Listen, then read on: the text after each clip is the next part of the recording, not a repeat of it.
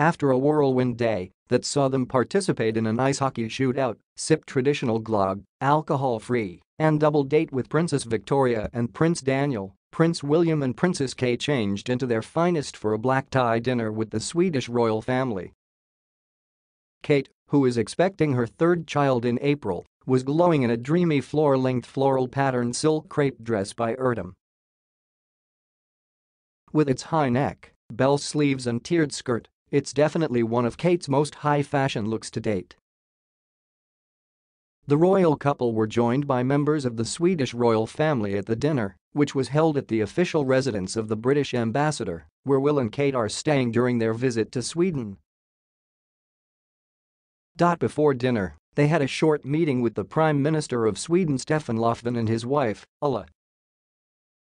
William told them all about their bandy hockey exploits earlier in the day, saying he was proud to have scored a goal. Kate laughed and patted him affectionately on the arm and insisted, I let him win.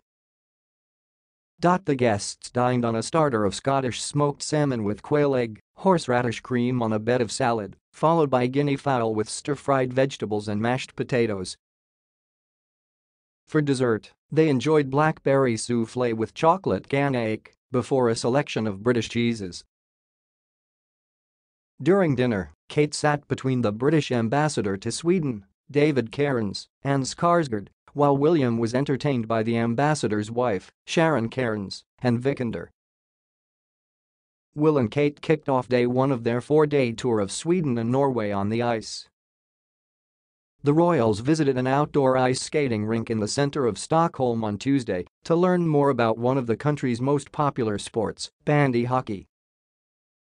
And they rolled out the red carpet for Will and Kate as they stepped onto the ice to challenge each other to a fun penalty shootout. They then traveled to the Royal Palace of Stockholm to attend a luncheon hosted by King Carl KVI Gustaf and Queen Sylvia. Crown Princess Victoria and her husband Prince Daniel were also in attendance. Following the luncheon, Will and Kate, accompanied by Victoria and Daniel, walked through the picturesque cobbled streets of Stockholm where they were greeted by well-wishers who lined the streets to catch a glimpse of the royal couple. They took in the Nobel Museum and then traveled to ArkDes, Sweden's National Center for Architecture and Design.